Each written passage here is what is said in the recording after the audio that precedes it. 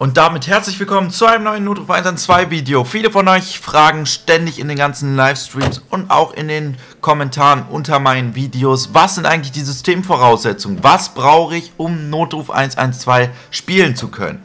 Das verrate ich euch in diesem Video. Also zuerst braucht ihr natürlich ein Betriebssystem. Hier steht jetzt äh, in der Systemvoraussetzungsliste, dass man Windows dafür benötigt. Ob es auch auf Mac läuft, weiß ich nicht. Also hier steht jetzt erstmal Windows. Dazu braucht ihr mindestens Windows Vista äh, und sonst könnt ihr auch auf Windows 7, Windows 8, Windows 8.1, Windows 10 auf 64-Bit spielen. Ob es auch auf 32-Bit läuft, weiß ich nicht. Müsst ihr ausprobieren, indem ihr euch die Demo runterladet, die dann äh, bald ja, verfügbar ist. Dann könnt ihr das mal ausprobieren. Außerdem bräuchte, braucht ihr einen Prozessor mit mindestens 2,8 GHz. Das ist so eigentlich so der Standardrechner, der hat sowas. Arbeitsspeicher braucht ihr ab 4 GB RAM. Also ich habe jetzt zum Beispiel 16 GB RAM. Okay, ich habe auch einen Gaming-Laptop, aber so ein normaler PC hat meist so 4 GB RAM. Äh, viele auch 8 GB, deswegen so viel solltet ihr schon einplanen.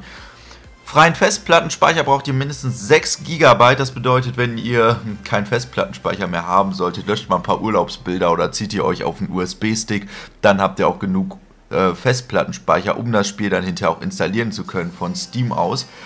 Und was ihr auch noch benötigt, eine Grafikkarte mit mindestens 1 GB VR-RAM. Dort muss dann DirectX 11 drauf sein.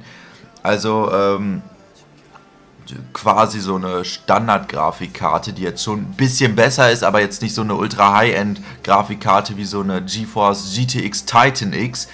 Ähm, die könnt ihr zwar auch dafür benutzen, aber das lohnt ja jetzt nicht, eine Grafikkarte für 1200 Euro zu kaufen, nur um einen Simulator zu spielen. Ne? Also Freunde, ich denke, bei den meisten wird das Spiel laufen, das seht ihr dann auch an der Demo. Ähm, die müsst ihr euch dann einfach von Steam runterladen.